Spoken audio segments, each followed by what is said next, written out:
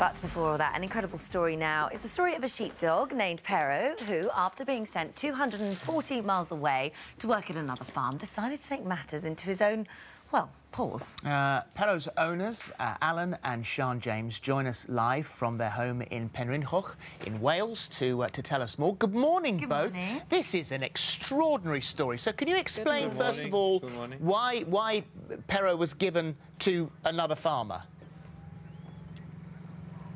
Um, yeah, it was just that an inquiry had came, come through that um, they wanted to, a dog that was happy to work with a bike and gather sheep. And that's what Pero enjoys doing back here with us. And we sent Pero up to Cockermouth to, for them to try him out. We should point out that uh, Pero is uh, is, is a, is a work, working dog. These are not pets. No, no, he's a working sheepdog. Yeah, out 24 7. And Lives so outside. you travelled the 240 miles to Cockermouth to drop Pero, Pero off.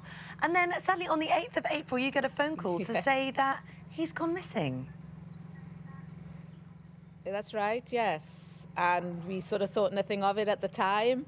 Um, we knew he was microchipped, so if anybody caught him or brought, you know, got hold of him, they would have contacted us. Um, or we just said to the gentleman that, oh, he'll turn up or he's watching you somewhere. But no, Pero has not shown face up in Cockermouth since. So 12 And days so we saw him last Wednesday. Yeah, 12 days later, Yes. 240 miles, which hmm. works out he would have had to have done 20 miles a day. He found his way back. to home. Do you have any He was any sitting on the doorstep at home at How? How did he do it? No, we've no idea. No No, idea. idea whatsoever. Total shock, mystified by it. Real mystery. What was it like when you know, opened the thinking all door and he oh, was- somebody's going to turn up and say. Yeah, when you opened the door and he was there Yeah, on, well, it was on Alan the that opened the door. he was sitting on the doorstep. Yeah. Nobody had called that evening to say that he brought him back or nothing. He, he was. I went in for supper and he was there. When I came out, sitting on the doorstep. And there is a possibility Jumping that maybe somebody had read his microchip, that they'd managed to get the information, scanned it somehow, and found your address and taken him there. But I mean, you'd think they'd knock on the door and say, Here's your dog, we found him, he got chipped. Or there'd be a process once a dog was taken to a vet, they'd scan the chip, then it would be in the system and they'd contact you first. So it's just a complete mystery. Yeah, indeed. Mystery. Yeah, indeed. It is quite.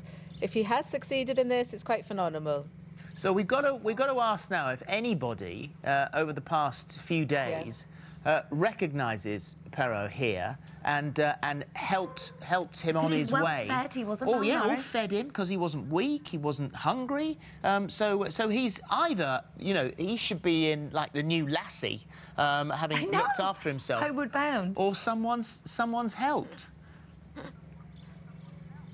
Well, if anybody has seen him on the on his journey home, yeah, we would very much like to hear from them. And he's now staying with certainly is you. a mystery to us. He's home now. You're going to keep him. He He obviously will loves stay it there. in Penrhyn-coch. He's Right. home. Good, good to hear it. Thank you Lovely. very This is a remarkable dog. What, And incredible, what a story he has got to tell, eh? He's like that, looking up at the Yeah. sun, just all happy. Thank Lovely you, to guys. speak Thank to you you both very today. much indeed. Thank you, He Pero. looks thrilled to be home. Where's he been, that naughty Yeah. dog?